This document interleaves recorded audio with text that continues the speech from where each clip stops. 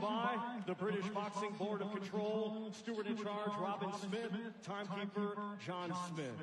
Our three judges assigned, all from England, will be Steve Gray, John Latham, and Bob Williams. Our referee in charge will be Lee Every of England.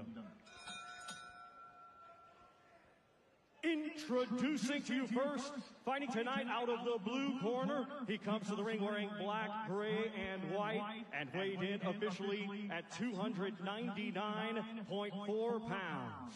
A native of the Democratic Republic of Congo, he is now fighting out of Airdrie, Scotland, and brings a professional record consisting of 19 wins, just one defeat, 14 of his 19 wins come by way of knockout. Ladies and gentlemen, please welcome Martin Bakole.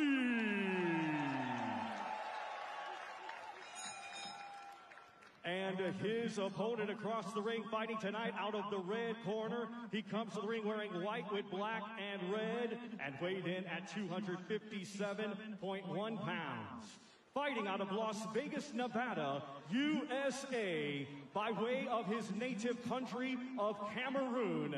He has a professional record consisting of 40 wins, 7 defeats, 1 draw, with 28 of his 40 wins coming by way of knockout. Ladies and gentlemen, here is Carlos Takam!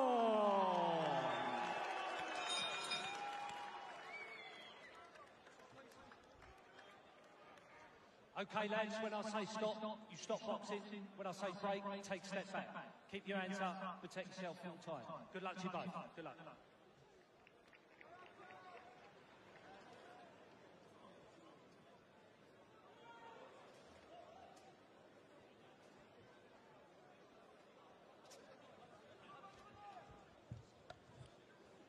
So all heavyweight action from here on.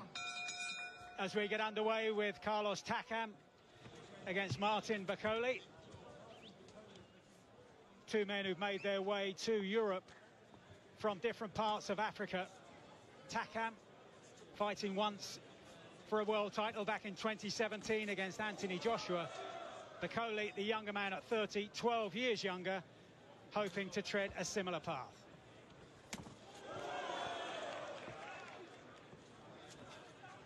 Think the first thing that is evident here, Mike, is the size of Bakole.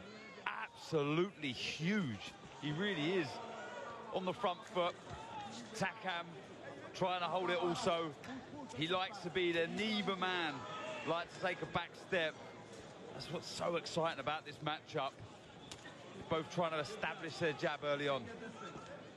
Yeah, Bakole coming in at 299 pounds, 21 stone, 5 pounds. His heaviest ever in nine and a half years as a professional.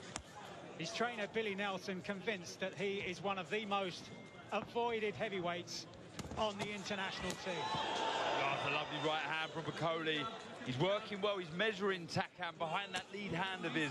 You see his, the, the variation with the shot as well. It's not just the jab, it's a long arcing hook as well. And that sets up the right hand just missing with the target there. Bakole making his intentions clear in the early stages with two solid right hands. One landed flush, the other just grazing the chin of Takam at 42, who revived his career earlier this year with a surprise win against the Olympic champion from 2016, Tony Yoka, the Frenchman in Paris. Yeah, it's a very positive start this from Bakole. He looks comfortable, he looks relaxed, composed. He's not rushing anything. As the fight goes along, he likes to really go through the gears, Bakole, but doing the right thing here. As is Takam, to be fair, he's tucking up, he's moving his feet, he's not taking unnecessary risks. No need early on, especially against a man who is as big and as heavy as Bakole.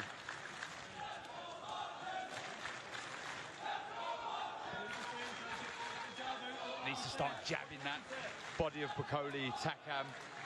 No point headhunting right now. Just faint, move the head, stab that jab to the body, then you can start looking for the right hand over the top. Better variation with that lead hand from Bakole. like I said, it's a very comfortable start for Bakole.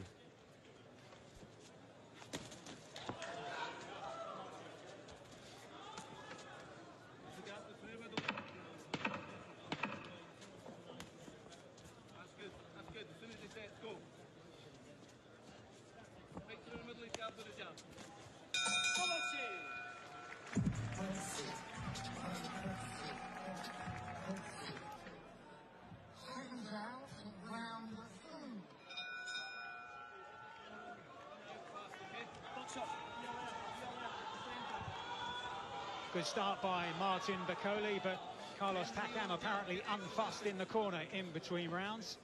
This scheduled to go 10.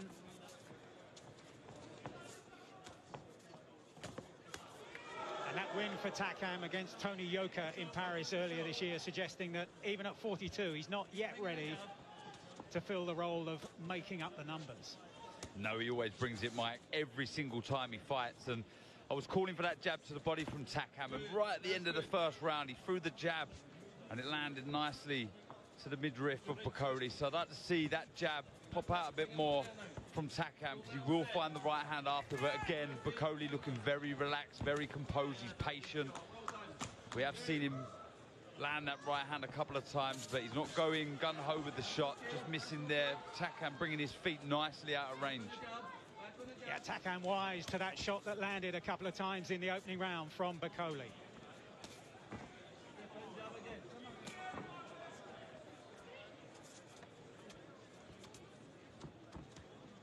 He's always moving his head side to side. You're going to have to keep doing that. We've already seen, like we said, that right hand finding the target a couple of times from Bakole, so he can't afford to be a static target. Hands have to be high, has to keep that head moving side to side. There you see, and he'll be able to look for the counters after. I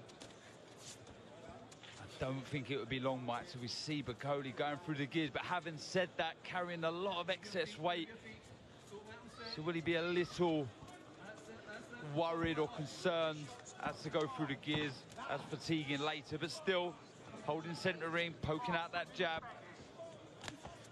Yeah, there were one or two rumours that Bakole had actually pulled out of this contest.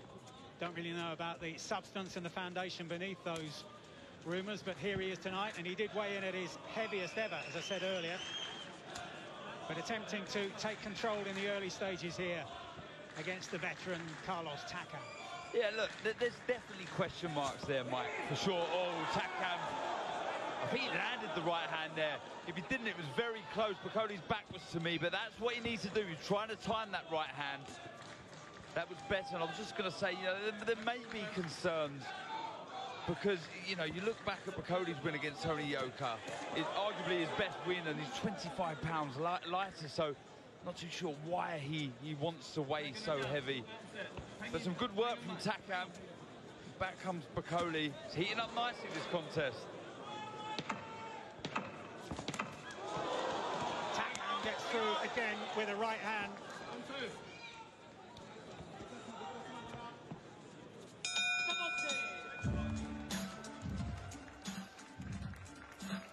Successful promoters in the history of the sport. Frank Warren on the left, Bob Arum still going strong. And Warren and Arum describing tonight as a game changer. Referee Lee Everett warning the two men about the closeness of the heads at the beginning of this third round. Yeah, just sat behind him, Mike, was the great Roberto Duran. The who's who are here in attendance, and this is what I was expecting to see from Bakole as the rounds go on. Him really go through the gears, landing big shots. He's doing well taking these Takam. The first real sustained attack from Martin Bakole. Big right hand lands high on the head of Takam, but Takam fires back in the only way he knows how. And suddenly the fight has come to life in the third round. Some big shots landing. Takam, this is what he does best. He mixes fire with fire. He never backs down. Sometimes it has been his downfall, but it always makes for great action. Now actually pushing Bakole back. But Bakole landed some huge shots. He really did. They were coming in from all directions. And another nice left from Takam. Happy just to sit on the ropes, Bakole. Well, both of these have suffered in terms of inactivity in recent years. Takam has fought only three times in the past three years. Bakole only once in each of the past four years, but they're getting to work early here. I don't think this is bad tactics from Takam, actually, Mike. Getting on the chest of Bakole, nullifying the threat. We've seen at range the, the dangerous out the two. For me, looks Bakole when it's at arm's length. So Takam trying to nullify that threat, get close, trying to land that overhand right. Needs to get a bit closer there, just allowing Bakole to land shots. Oh, both exchanging right hands. Yeah, he's done the right thing here, Takam, just pinning every time Bakole tries to escape. He brings either the left foot across or the right across just to keep his man on the ropes. But Bakole boxing nicely, good variation, lovely left uppercut. This is a good spell from Bakole as Takam tries to stay close. Half a minute to go in the third. It's a big shot from Bakole. He's hurt Takam, but back comes Takam, firing again with the right hand. But Takam's legs are weakening, no doubt about it. Last few seconds of round number three. Bakole's let a lot of punches go in this round now. If Takam could possibly hold on. Too many hooks to the head. He needs to bring the uppercut through, Bakole. That's the shot that he needs to be throwing. Great round for Bakole.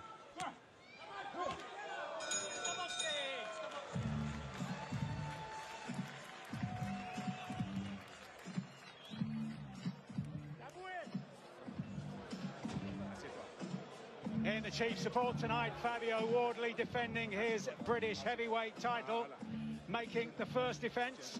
The vacant Commonwealth title also at stake, and the man rising from the opposite stall will be David Adeleye. Both of them unbeaten, both of them with huge inside the distance records in terms of percentages of those wins. Yeah, I mean, it was a good round. Just as I was saying, Takam doing the right thing, getting close to Bakole and nullifying the work. This is right at the start of the round. It was a very good start from Bakole, landing some big shots, hooks raining in from all directions. And I was just saying at the end of the round there, just needs to bring the uppercut through. Just, it's okay head hunting if you're varying the shots to the head, but just a little too predictable with the hooks. Well, noticeably, Takam backs off at the beginning of this fourth round. He was hurt in that final minute of the third, and Bakole onto the front foot, looking to seize his opportunity. It was a blistering start to the third round from Bakole. He doesn't look right, Takam. He's still hurt from that third round. The legs look unsteady. The legs have gone again from Takam. Backs off into his own corner. Yeah, I'll be surprised if we see more of this. Mike, this is good stuff from Bakole. He's patient, but he's walking down Takam, who's walking continuously to his left. He just backs off Bakole, but he's walking to his left. Where is Bakole? Right hand, that's better Comment movement. ça Bacoli? Eh. yape ya mboka ye kobungisa kondima te balokanga nano miso sambela. Longola tembe kota na monde ya realite osala pwalu moko ya mboka bakoni ofuya basikatrice lipamboli ya nzambe ya bakoko na oyo ya bakishi kosa kongo ebelaki mwakala junior na makia basangani babikisi bokte nyonso deva ya koma biyonse ondimi osinye kroso olingi bino te mai nyonso nde komaka vinyo te tous les concurrents botya na danso grigno te omati na ringa sime elongo bakoka yo te ata batruke gos droit oyaki mpo bunda mokomi osuke master obilakaka okosaki fute esika komi eza mosala soki olingi opumo ifotikala pepele. Mingi bakatana na nzela to nalobi na konte bao baboti baponge bazebele kotamboka na mapekano bakole. Bendele ningana nango bekwea te. Solinga bandole etala esika outi bakilometre osali eza ya pamba te. Depuis ozasenkanaka nanga osuki toye kokontinue yango na kinshasa. Afrique du sud carrière professionnelle nouveau départ. Famille ya bachampion loboko euti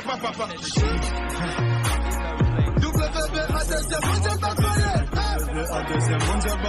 Congo la sana Et tout à côté. Et tout à va à ma tombe ma tombe. Je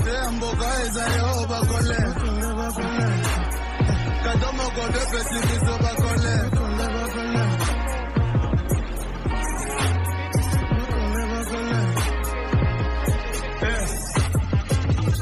generation no eza kontika espoir. Serapple ntango nyonso oyaki otika histoire baobstacle yano nyonso otyakangwa entre parenthèse yeba sikoyo ke la vie appartient ceux qui encaisse tala nsima bambula kongi epola mpo nango basakrifise osala oyo ezozangiso bamoi toza na raison moko to apike devant prix babandone lelo ya kotonga